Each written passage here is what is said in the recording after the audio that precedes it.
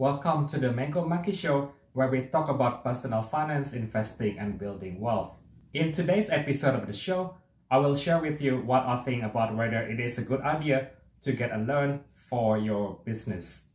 I will explore the different things you should consider and the different finance options which are available in the market in Australia. If this sounds good to you, please continue and don't forget to absolutely destroy that like button at this point.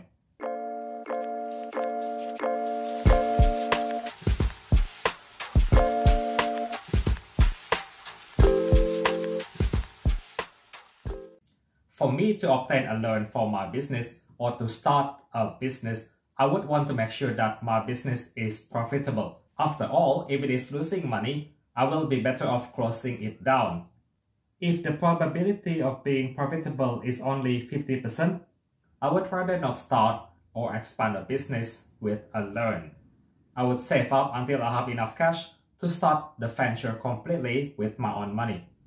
This is because the interest rate on a loan quickly adds up. For example, if I borrow $10,000 and the interest rate is 20%, in one year I will need to pay $12,000.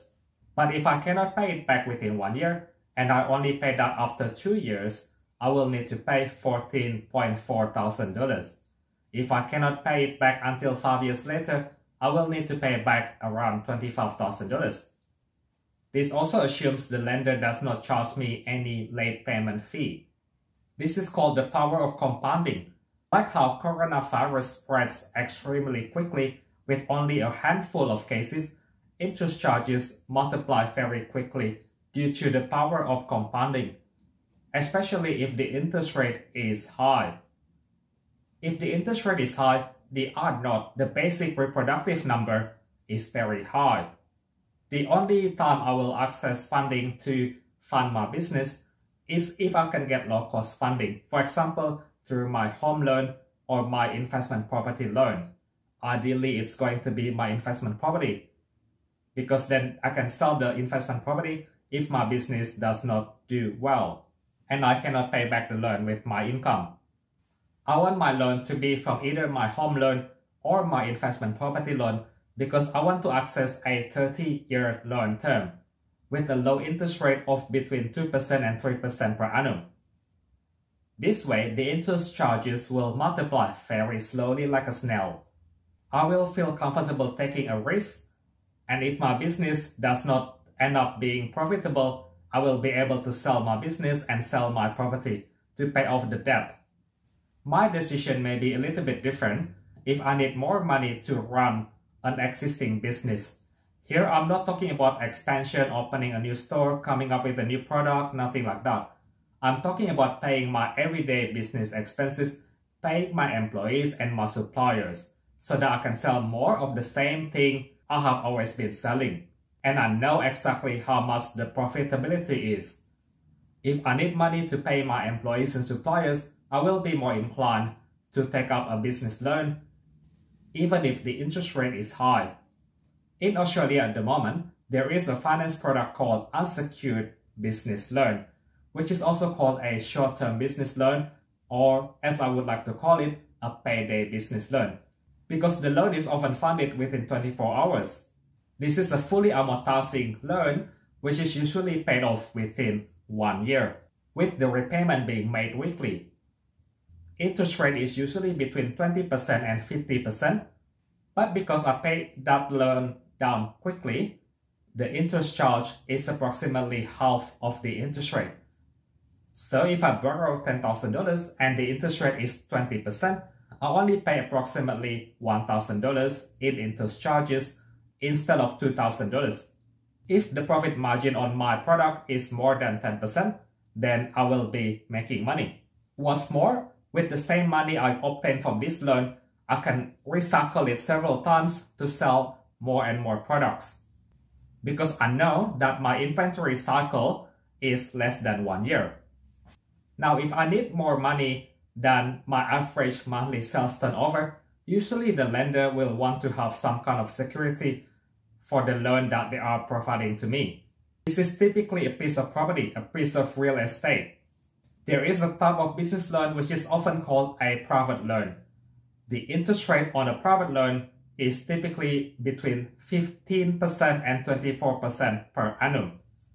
The loan usually sits on top of your home loan or investment property loan as a second mortgage. It enables you to obtain a massive amount of loan as long as there is a good equity in your property. Your sales turnover and your business cash flow are not that critical to the lender. This type of business loan usually runs for one year. You do not need to pay anything during that one year, but you need to pay off the loan completely in one go at the one year mark.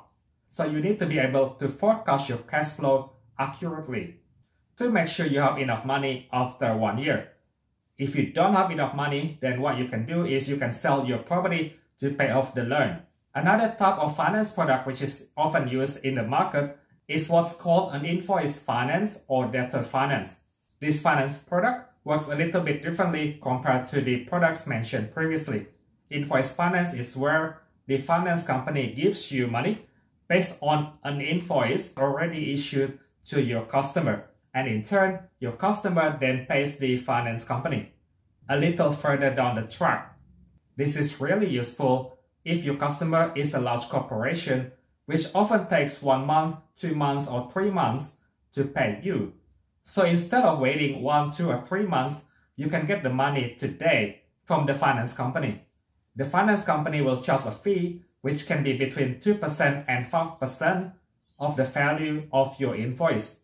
You can choose to finance all of your invoices or only those invoices where you know your customer will take ages and ages to pay.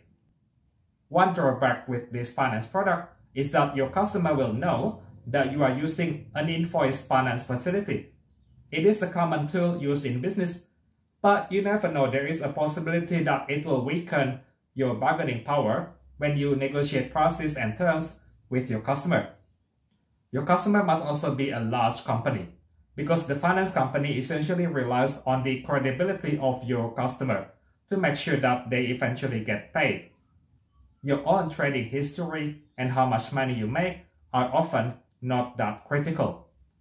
The benefit of this type of finance product is that the ongoing interest rate, should your customer takes forever and ever to pay the invoice, is usually quite reasonable Therefore, your debt does not snowball like crazy due to factors beyond your control.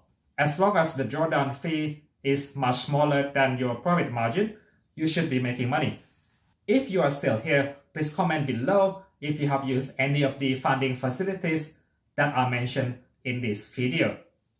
Let me know if you agree with me about how I decide whether to obtain business finance or not. I'll make a bunch of videos on personal finance, investing, and building wealth Thank you for watching. And if you haven't already subscribed, I appreciate if you can subscribe now to help me grow my channel. And of course, you do not want to miss my videos, right?